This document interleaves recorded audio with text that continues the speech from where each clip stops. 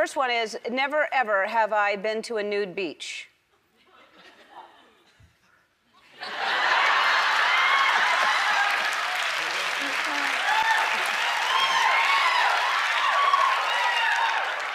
All right, never ever have I been arrested.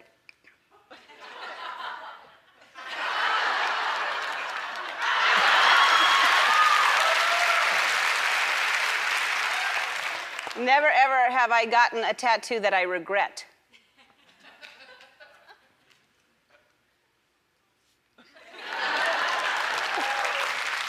Never ever have I joined the Mile High Club.